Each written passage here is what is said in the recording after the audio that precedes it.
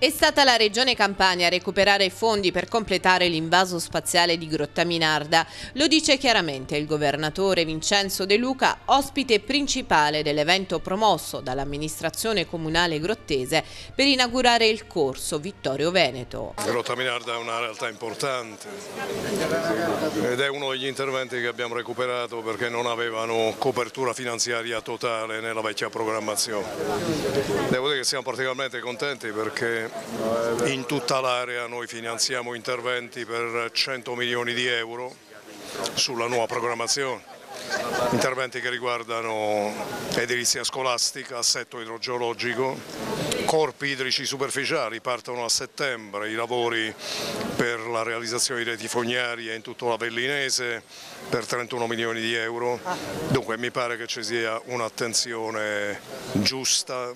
L'opera in sé è già di un, grande, di un grande valore perché riammoderniamo Corso Vittorio Veneto, manca a farlo apposta lo facciamo a 100 anni dalla fine della Grande Guerra, con la vittoria di Vittorio Veneto a cui è intitolato il nostro corso e al tempo stesso con l'ammodernamento dei sottoservizi perché stavano in fase di grande deperimento e un abbellimento generale per renderlo più attrattivo.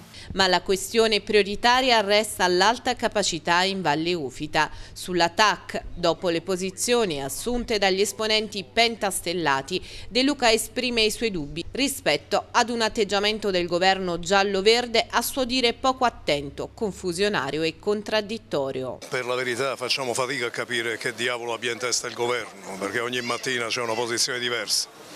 Ovviamente per quello che ci riguarda queste opere rimangono ferme, faremo la guerra ovviamente se qualcuno tocca gli investimenti che sono stati previsti e programmati. Eh, noi abbiamo registrato negli ultimi anni processi di spopolamento delle aree interne. Uno degli obiettivi che ha la Campania è di frenare l'emorragia di giovani costretti ad andarsene via per poter vivere.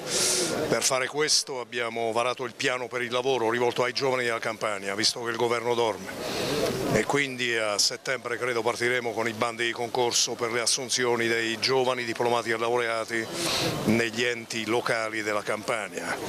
Ma è evidente che questo non basta, dobbiamo portare le aree interne, infrastrutture, la banda larga che è decisiva per avere nuovi insediamenti industriali ed è evidente che non si possono perdere infrastrutture decisive come l'alta capacità, l'alta velocità.